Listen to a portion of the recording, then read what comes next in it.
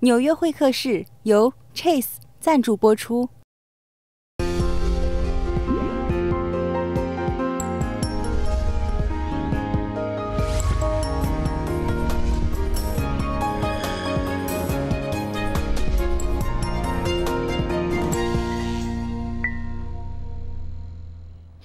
欢迎走进由 Chase 赞助播出的纽约会客室。今天的嘉宾呢是旅居纽约的灯光设计师陈怡仲，欢迎你。嗨，你好。欢迎欢迎哈。呃，大家对于灯光设计师这个概念啊，可能就是每个人会有自己不同的理解。嗯哼。那你是做这个舞台灯光设计的，是。先跟我们说一说，像在你的这个工作里面啊，灯光设计它是一个什么概念？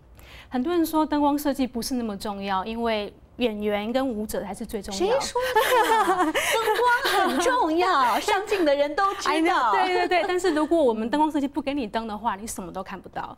对，但除了照明这方面之外呢，灯光设计很重要。是如果是写实剧的话，它是可以提供一个写实的环境，它可以去模拟一个写实的环境，让观众觉得哦，我们真的在这个环境里面。那如果是非写实的话，就是情就是营造一种情感的感觉，因为每一出戏它有不同的情感，它有。不同导演想要追求的一个画面，嗯，所以你不可能很在演一些很感伤的戏，然后台上大白光的，所以就是你要怎么去帮助导演跟这个戏去营造那个空间氛围是非常重要的。所以你接到一部戏的话，你会先研读它的剧本，是，然后每一幕场景你会为它设计出灯光，是，呃，你会把这个你设计的灯光还要经过导演啊或者是剧组其他人员同意沟通什么的吗？但灯光这方面就是很难讲，因为没有一个很实际、很 physical 的东西，对，所以你只能用尽量用文字来沟通，然后去找一些图片来辅助，说这是我想要追求的一个画面，然后导演会跟你沟通说他想要的是什么。对，所以就是很难，就是有点有点哲学性，就是有点是语言上的一个一个描述，反而是比较不像是舞台设计或是服装设计，他们可以提供一个很具体的东西，说导演这个样本，对对，所以就是这不是比较困难的方面，就是你要怎么用语言跟图片去辅助来沟通。嗯，因为你原来在这个台北的时候，本科学的就是这个舞台设计，对吧？是，嗯。那其实跟就是其中包含灯光设计，还是说其实是一个专业？在台北我们学的时候是蛮幸运，是它是完全美国的系统，因为我们所有的教授们都是以前在美国留学过的，所以他们带着这个系统回到台湾。所以我在台湾的时候，我大三就可以选择主修，就当大一大二的时候你是什么都要学，就是慢慢去发展你的一个对每一个的兴趣。嗯，那最后就是你可以大三之后你可以选择你要什么。当你的主修，然后以做那个主修当做毕业这样子。嗯，所以你选修了灯光，对，因为 因为图不是画的很好，也不是很会缝纫。对，就是这是最我觉得对我来讲是，而且是最神奇的一个东西。我觉得就是它那么的虚拟，然后你要怎么从虚拟中就是做出人家会觉得哦，这是有这么有一回事的东西。嗯，对。那你后来到了这个波士顿大学，嗯，专门学习这个灯光设计，在研究所里面，嗯哼，呃，毕业之后就来到了纽约，是，嗯，在纽约这几年呢，我看是发展的非常不错哈，和这个美国的舞团剧团啊，还有我们这个华人这边也比较做的比较好的一些，像陈乃妮的舞团啊，你都有长期的合作。是，最近刚刚完完成他的这个演出是吧？对对对，这个年度的演出在 Martha Grant Studio Theater，就是上上个。礼拜刚上个礼拜，对，还有这个长江剧团的年度大戏，也是你在执掌这个灯光。对对对，嗯，我觉得还蛮幸运，就是在纽约，就是误打误撞认识的这些亚洲很有名很大的一个团舞团跟剧团，然后大家也是彼此信任，然后愿意彼此帮忙，所以给我这个机会让我做。可是我已经也是也做了大概三四年了，所以我觉得。我自己应该也是还不错，所以他们愿意给我这个机会继续合作。嗯，我们先来看看你的灯光设计作品。好，来导播，我们切些图片来看看。嗯，这个跟我们说说。哦，这是在两年前，呃，这是在 Martha Grant Studio，然后它这是在未改造之前的灯光系统，所以比较 没有那么的先进。然后这个是呃两个双胞胎，那个是双胞胎。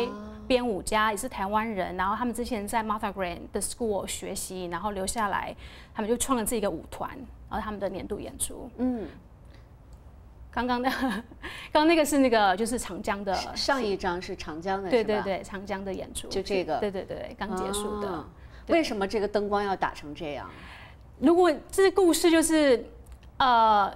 弟弟自杀嘛，然后你可以看到那个是 closet，在一个左上角，所以那是真实的世界。弟弟自在 closet 自杀，然后姐姐在那个锁在 closet 里面寻找，就是到底为什么线索，为什么弟弟要自杀？然后在舞台上，那就是所谓那个 land of death，就是你死，那有观，那是观音跟 Monkey King，对，所以它是现实和虚幻的结合，对对对，需要用灯光来把它们区分开来。对对对对，嗯，然后这个是一个比较 tricky 的。呃，状况是我们用了别人的台跟灯做了一个 reading，所以就是这也是经常会发生，就是你要怎么用别人的东西来创造出你自己的东西。哦，对，这也是蛮有趣的经验。然后这是在那个 Clemente 在 Lower East Side 一个剧场叫 Flamboyant，然后呃做的跟一些年轻的女生呃美国呃演员导演合作的戏。嗯，然后这也是长江两年前的没坚持。对。然后这是在 State Law Eller 呃 Studio of Acting，然后这也是 Clemente 跟一些年轻的演员，然后这是陈乃妮的某一支舞，呃对，为舞团和为这个舞剧嗯来呃舞台剧来设计灯光的话，应该区别还蛮大的吧？啊，很不一样，而且像是为舞团的话，通常没有那么多时间可以 loading，就是你可以像剧团的话，你可以。进去那个场地，这个也是舞台剧吗？刚刚看对对对，这也是。这这个很像这个电视剧的效果，可能是那个取景，对，是舞台剧。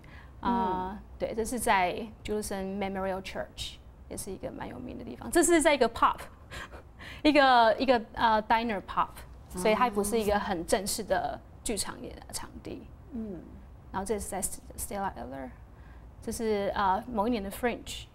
这个是舞剧，这是舞团，对对对，这是以前在学校的作品。啊，对，是在 Stella Eller，这是 Clemente，这是奶尼的某一支舞，这是奶尼的舞，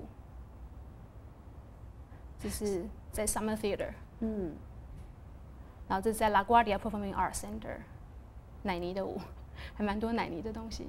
嗯，所以我我刚刚留意一下哈，因为我特别有这个留意这些呃画面的这个灯光，嗯嗯嗯，哎，我觉得其实可能你在看一出剧目的时候，呃，你会觉得灯光有变化，但是不像说像我们现在看你所有这些灯光作品，觉得哎呦，原来这个灯光可以有那么那么那么那么多的层次，每一张都不一样。对对，尤其像看写实剧的时候，你就觉得哎，什么？灯光设计都没有在做事，但是因为它不会让你看到真的很快速的变化，它是一种情感上以及很写实，比如说太阳下山的那个很长的一个一段时间的变化，所以好的灯光设计不会让你看到他做了什么事。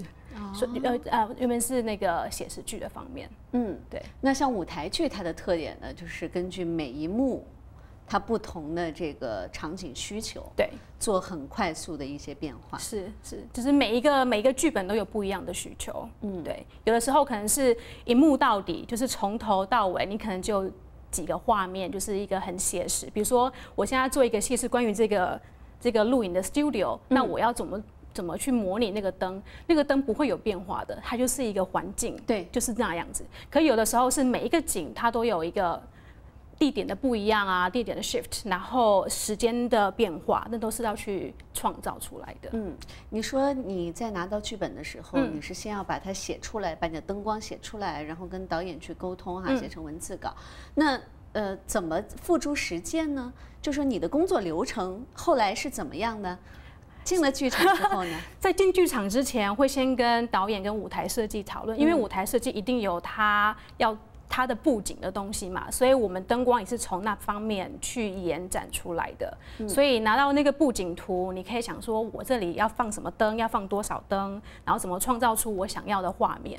对，然后进了剧场，有的时候是要自己挂灯，有的是有人灯还要自己挂，是有看那个就是制制作的 budget，但有的时候是你什么都要自己来。有时候那梯子都不知道爬到几百楼去的那种感觉。对，就是这自己自己来。对。那所有这个整个全场灯光的设计变化，你都要在旁边指挥，还是应该因为现在都是电脑控制，所以我是在 take rehearsal 的时候把所有东西都记录好，然后这是在一个 board 台里面，所以到时候呃舞台监督他只要按一个一个按钮，就是可以灯光就会变化。嗯，但是在演出现场你是要一直跟场，我不会，因为通常都是到了 opening 之后，就是我的工作结就结束了，因为。因为我觉得很有趣的是，剧场每一分每一秒就是都有可能会不一样，就是你可能看的每一场都有一点点不一样，因为它是很真实，在台上演员就是及时的一个演出，所以有时候 Q 会慢一点，有时候快一点，所以很多时候如果我在现场的话，我就会说哦，我想要改这个东西，但我不能改，因为已经已经熟演程序了，对对对对对，已经已经。这是我的工作就到这边了，我再去看的话，我也不应该再改变任何东西，因为这是就是一个我觉得是剧场一个规则一个道德吧。嗯，对对对，就剧场它是最迷人的地方，就是它可能会有突发事件，是 是，最怕那接到电话说哎有什么问题发生，就是 对对对，嗯，哎，那那你觉得就是作为这个。嗯，舞台剧的工作者哈，不管是灯光也好啊，或者是其他的一些舞台剧的幕后工作呀，呃，你觉得难吗？尤其是作为一个亚裔在这边，我觉得还是有它的困难度。然后，呃，像很多白人会说，女生的机会比较少。啊，真的吗？真的？为什么？呃。就男男士比比较能干活吗？如果是说导演来讲，大部分都是男生，就是你看到四十五四五十岁的有名的都是男生，因为女生还是要去结婚生子之类之类的。嗯，但是我我并没有那么深刻的觉得说我因为是亚洲或女生，然后我就被受限，我并没有，我并没有还没有到那个程度。对，到目前为止，我觉得我并没有被受限到。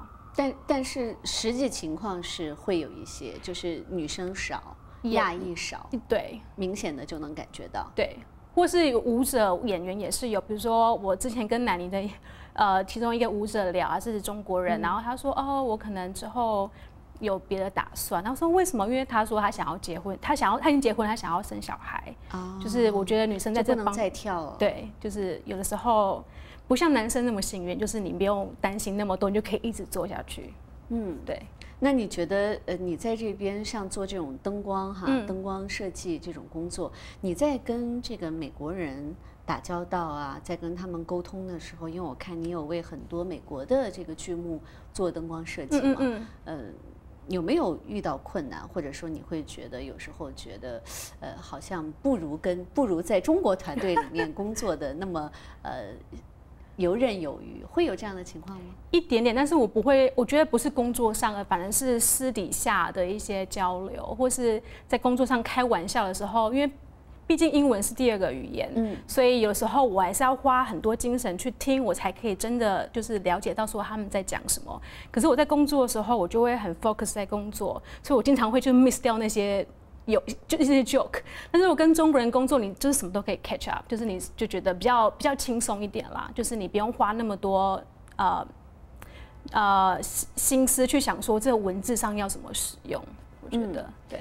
但是对于你来说，就是在专业方面，我觉得没有对，没有什么太大的问题。嗯，但但你也知道，就是呃，有些西方剧目哈，可能对于我们的文化背景，嗯嗯，并不是说对他们的这个历史啊，或者是人物关系那么熟悉，那你怎么办呢？就是多做功课，然后跟别人聊，跟。通常导演都是特别有想法，因为他会决定要选择这个剧目，一定有他的理由，或者他自己自身的一些相关的经验，所以问导演绝对没错，就他一定可以跟你讲到很多很深的东西。嗯，对。好，我们先休息一下，更多话题留到下半段再说。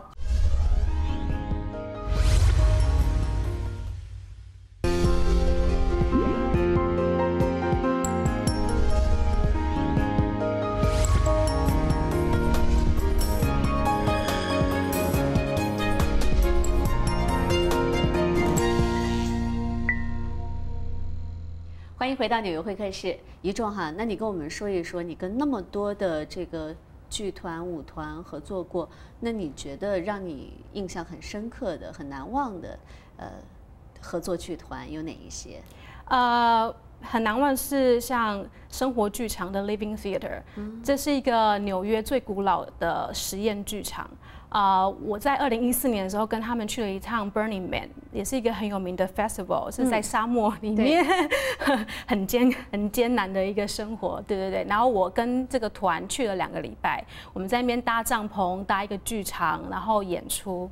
对，就是完全体验到美国不一样的一个文化场景。嗯，对，因为我我们的制片人也有去过，我没有去过，但我看到了很多照片。对对对，很疯狂。我觉得我觉得这个这这这个节日太疯狂了，而且在最后会付之一炬，所有东西都没有。对对对，最后什么东西要都要清干净。我记得最后走之前，我们还每个人蹲在地上，然后那边捡自己的垃圾啊，就是确定说没有任何小碎屑。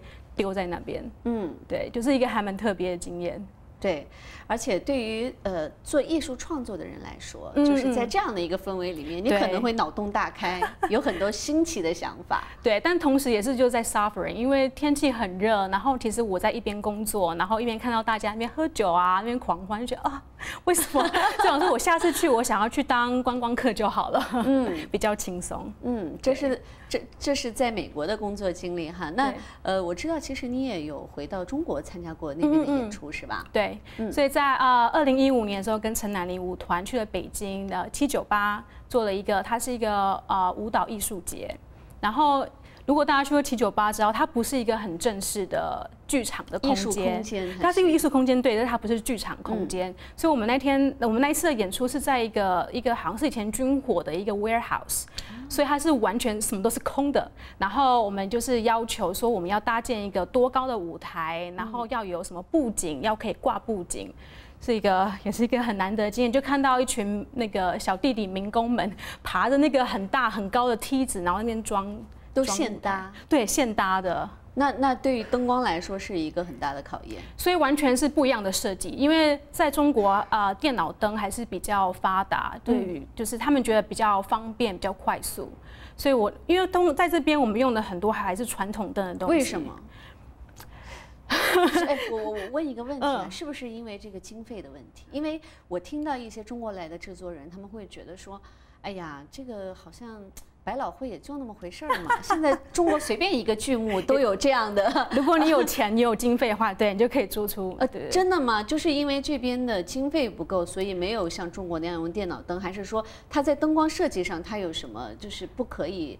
就是需要保留的地方。对我来讲，是它的它的温度，这很难形容，是它的温度。因为电脑灯跟一般传统灯，它投射出来的那个色温是完全不一样的。即使电脑灯可以模拟。传统灯，但它还是看起来完全不一样。真的，真的。所以这也是在美国一直用这个传统灯的原因吗？而且大的剧场对大部分剧场还是有传统灯的设备。然后因为呃传统灯跟电脑灯所花的时间，就是你要架设、你要调、你要做画面的时间也完全不一样。对，哪个更长？所以传统灯是你挂的时间、走线的时间、调灯的时间比挂电脑灯还要久。但是你电脑灯你要做画面时间会更久，因为你要后期的对后期的对对对对成对编程会花的时间比较久，所以那时候我们在北京是完全都是电脑灯，所以我就是花了很久的时间跟那个我的 board operator 是一个大哥啊跟他沟通说我要怎么做，因为那个 board 台也不是我熟悉的东西，所以我只能就是一步一步跟他讲说我这里要什么，我这里要什么。对，也是一个 还蛮有趣的经验。嗯，对。哎，那就你看来哈，你觉得现在美国的这个舞台剧，嗯，它的这个发展和这个经济？有多大的关联？就说，呃，换句话说，它现在还就是在全球，它依然是领先地位。但是对于这些很多新兴的国家来说，他们有更多的经费，嗯，也可以请到很多优秀的人才。我们可以看到，呃，现在就是很多美国各行各业的很有成就的一些人哈，呃，陆陆续续都回到中国，嗯，呃，因为他们觉得那边更有发展机会，嗯，呃，而且这个财力更为丰厚，呃，可能能做的事情也特别多。对，嗯，那你是怎么看你们这个行业？我觉得是自己的选择呃。我觉得在美国，我可以看到很多很古老的东西，就是我觉得需要被传承下来的，就像是我跟 The Living Theater、跟 Martha Graham、跟 Stella Eller Studio 合作，然后我看到这些东西是快要一百年的历史。我觉得这东西是有必要去传承下去的。我当然知道说回呃，在中国或是在台湾，你可能有更好的呃设备，但是如果你的内容不是有温度的话，那我觉得那我宁可做钱少一点，设设备比较有限制，但是是我觉得有意义的东西。嗯，对。哎，跟我们说说你你你最初的想法吧，为什么你会喜欢？舞台剧这个专业，这和你的从小的背景有什么？我从小是学古典音乐的，就是从学什么？呃，长笛跟钢琴。哦，就是从小学开始，然后我国中、高中是念那种音乐班的，就是非常音乐学院那种，就是专科。对对对，就是学校。啊，对，然后就觉得长大就是啊，要当音乐老师，但我。就是我觉得我自己的这方面的术科并没有那么优秀，我觉得好像比不过其他人。那我为什么不做点别的事情？然后时候我也很喜欢看演出，那我觉得明明我可以 maybe 我可以往往这方面发展，然后就误打误撞就是念了台北艺术大学。嗯，同同学都在申请音乐系，我去念别的系这样子。嗯，对啊。那现在一路走下来学下来，你的感触是什么？对于这个专业？我觉得我真的很喜欢，就是这是一个我每次看呃演员或是舞者在台上，然后我都就是有那种感动，然后每次那个剧幕下来了，观众鼓掌，我就觉得这是这是我我喜欢的东西，对。你热爱，对我嗯。很爱，嗯。就即使家里说要不要回来做生意啊，就觉得嗯，可是这是我真的想要做，我就觉得是一个我可以好好发展的一个职业。嗯，对。那作为这个灯光师哈，在纽约打拼，嗯嗯，你觉得会不会有发展的瓶颈？现在看起来还蛮好的，对不对？嗯，就是你要一直很努力的去认识很多人，然后要有自己的作品，然后要。就是不要怕生，可能要一直去跟别人 social，然后争取一些机会。但是我觉得瓶颈也是会有的。我现在可能这个目前这个阶段还看起来还可以，但是我觉得如果我在想要继续往上走的话，我必须要多开几条路，然后想办法。对，像你这样工作在剧院剧场的华裔多吗？在纽约？纽约还算多，但是你只要出了纽约，你就很难看到了。嗯，就我像跟舞团很常去巡回嘛，到了各州去巡回，每次大家哦，怎么一个亚洲小女生 在这就在发号施令这样，他们就觉得很不可思议。哦，对。那你觉得纽约哈能够，呃，怎么说这个地方呢？其实很适合搞艺术。嗯嗯。呃，很多人因为你从波士顿过来嘛，很多人初到纽约的时候，呃，可能会有一些，比如说情感上的一些碰撞。嗯嗯，你你有你有过这样的经历吗？说说你跟纽约之间的故事。因为波士顿离纽约很近，所以我那时候在波士顿念书的时候，每一年的呃呃。啊，break 我都会来纽约，就是来看看戏。对对对，因为才搭 bus 四五个小时就到，就是到处看看戏呀，走走观光客的景点。所以我一直觉得这是我以后想要生活的地方。所以我一毕业就是二话不说就是搬来纽约。它吸引你是因为这里剧目多吗？还是还有其他原因？我觉得是嗯。对，就是它的译文发展跟美国其他国家比起来，它还是 number one。然后你可以看到很多各式各样的人，就是我连我工作的时候也会遇到，比如说从日本啊、从韩国、从呃土耳其、从塞浦路斯来的人，就是你会觉得很神奇。就是你在亚洲工作的时候，你完全不会遇到这些人，但是你在纽约走一走，遇到就是就是呀移民，就是 immigrant，就是不是当地人。对，所以这种经历可能对你来说，你会觉得，呃，眼界呀，包括思维呀，看到不同的文化、不同的方式，对你来说是非常好的这个经历和经验。是，我觉得对于艺术创作也很重要，就是你不应该只只，呃，保留自己的文化当然很重要，但是你要去开阔，去看看别的文化，然后这样子，我觉得对你的艺术创作反而有更加分。嗯，呃，对于这个灯光艺术这个来说，传统背景。有什么重要的吗？或者是它它起到作用吗？你的这个传，比如说你的这个呃中国人背景啊，华裔背景啊，我觉得对于嗯，如果是作品本身，当然如果是讲亚洲的故事的话，当然是比较有作用。像是嗯，我记得呃前前几个礼拜有一个灯光设计要问我说，嗯，他要刻要刻一个图腾，那是要演杜兰朵公主，啊，然后要刻一个图腾，然后是长寿的寿，他问我说哪一个图腾比较好？我觉得这也蛮有趣，就是人家知道说你有这个背景，你知道就是他会问你说到底哪一个选择比较好？嗯，对，所以说自己的这个民族的。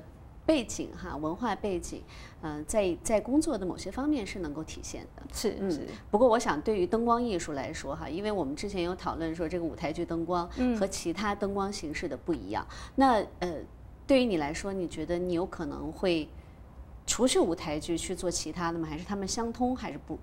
我觉得他们应该。应该说我没有经验啦，我没有经验，比如说 studio lighting 或是 architectural lighting，这是我没有经验的东西。但我也不会因此就反对去接触这个东西，因为对灯呃，我很喜欢剧场，但我也很喜欢灯本身。我觉得灯本身是一个很有趣的东西，所以我也不会反对去接触其他可能性。嗯，对。那对于未来发展的路呢？呃，因为毕竟现在还是签证的状态，所以我并没有拿的是 O one 对，是 O one，对，就是我，所以我没有限制说我一定要待在这边，或是我就一定要回去。我觉得我的目标是呃，可以到处走，就是到处发展，就是到处看看。